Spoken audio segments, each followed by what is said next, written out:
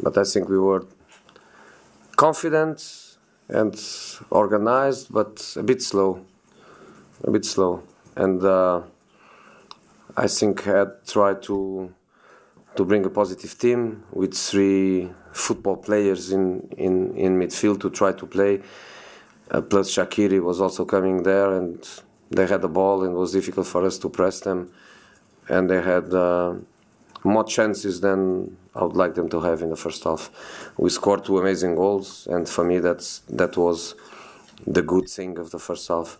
Second half, totally different. Second half, we missed lost lots of chances because we accelerate the game. We recovered the ball faster. We didn't let them play. Jones and Smalling they brought they brought the line so so up that was impossible for, for Peter Crouch to put a foot in in the box. And in the second half, we I think we played confidently and fast and aggressive, and uh, I like the second half. Um, Alexis Sanchez, how confident are you, you know, to bring him here this month? Not confident, but also not. Um, What's the opposite of confident? Unconfident. Unconfident, thank you.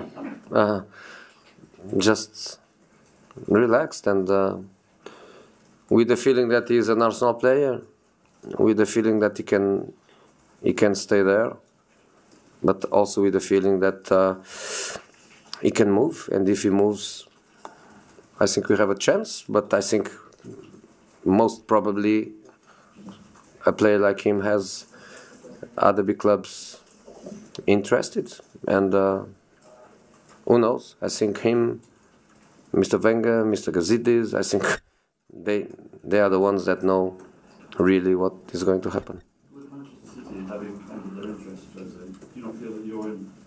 No, I don't know anything about it, and today I, I don't have one single one single information, uh, you know. So let's see what happens. Any questions on the game? So, sorry, Joseph, can I just ask if there's any chance of maybe Mkhitaryan going the other way if you, if you do manage to get Sanchez?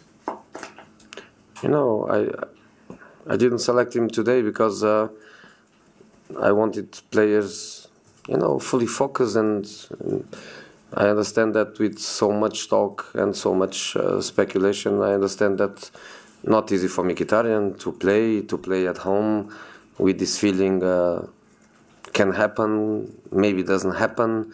So I prefer uh, to protect him and to protect the situation.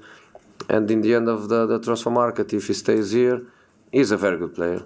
He's a very good player that uh, uh this season started very, very well and come a little bit uh, uh, down but last season did amazing things for us, help us to win the Europa League, uh, being one of the most important players. So let's see what what is going to happen. It's a pity that the market closes only on the 31st. The market should close maybe tomorrow and finish with everything.